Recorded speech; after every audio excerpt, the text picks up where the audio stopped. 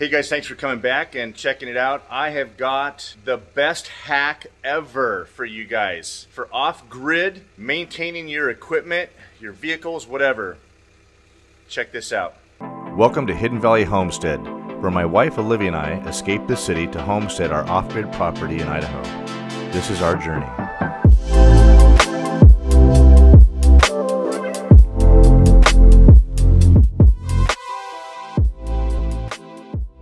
Okay, guys, so uh, if you guys have been following the channel, you guys know that I have a, a dozer as well as a, uh, a skid steer. And uh, I need to clean the oil. I had There was an oil leak in my skid steer, and um, that oil blew all over the radiator. So that oil got on the radiator and then kind of gummed up and dust and dirt stuck to it. So it's kind of clogging my radiator. It's not cooling as much as it needs to.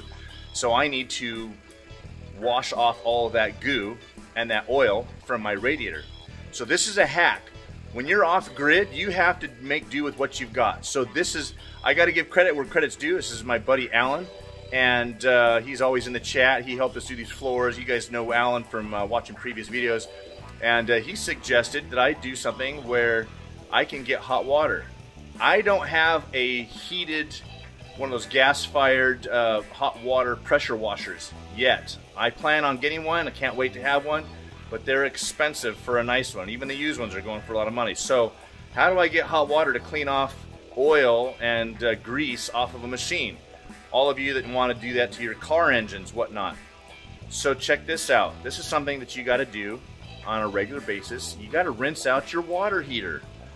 He suggested I hook up a hose to my water heater and it's under pressure and there's probably, uh, I think it's a 40 gallon water here. I got 40 gallons of hot, hot water in there, ready to go. So check this out, here we go. Okay, so a water heater, uh, it's got a, this thing's only a few years old, a Rheem, pretty sure it's a 40 gallon. And uh, you're supposed to rinse these out on occasion for any corrosion or whatever. At the very, very bottom is a drain, and it's got hose, um, it's got hose threads on there. So I'm gonna hook up my hose to the bottom of this water heater. I've got a little, uh, I've got a bucket there to catch any drips. You don't want to over tighten it because this is plastic. Some of them have brass ones. You can go a little tighter, but you just want to make it nice and snug so that rubber seal seals. Now because this thing is under pressure, I don't have to worry about opening up the uh, control valve. I know, I know, I know.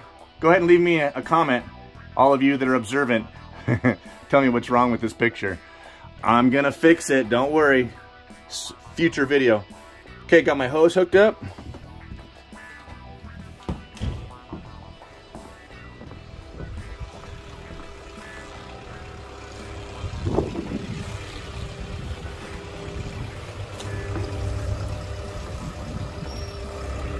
Got a nozzle on the end. That way it doesn't just come running out. So here we go, guys. I took off the grates, the safety grates off the back of the skid steer here so I can access the back of the radiator a little easier. And uh, I'm warming up the engine so I can warm up that radiator and, and try and soften all that oil or whatever that's, that's on there. And I'm gonna spray the inside of the radiator right here and get that purple power is what I'm going to be using, a degreaser.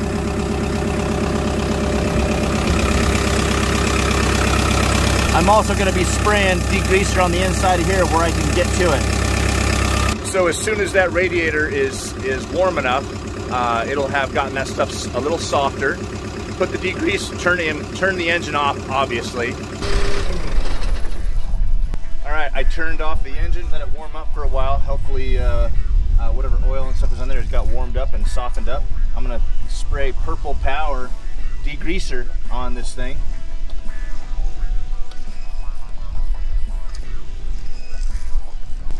I don't have, a, I have a spray bottle, but this is all the, the degreaser I have right now, so I have to go get some more, I think.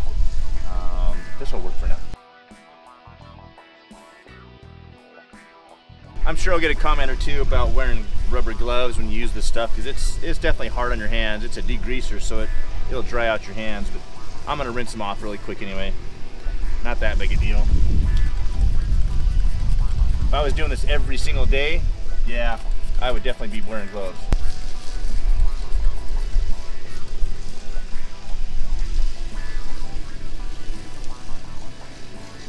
What I forgot to do was put my safety glasses on in case I get a splashback in my eye.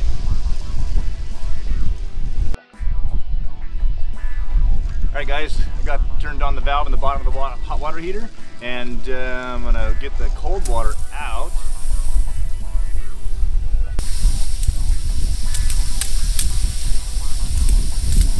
And there's the hot. Yikes!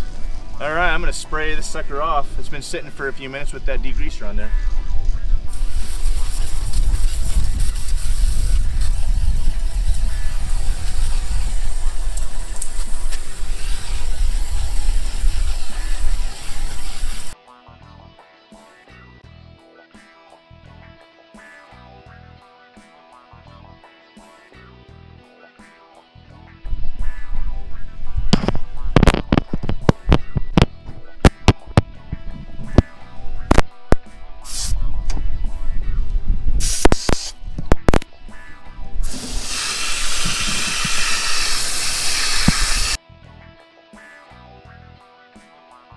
Guys, hopefully that's a, helpful little hack for you guys that don't have one of those hot pressure sprayers.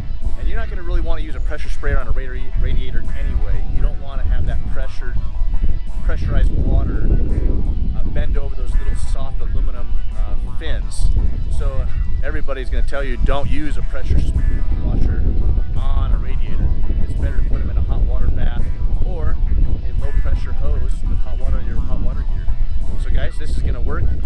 kinds of goo and dirt and grime was coming out of there.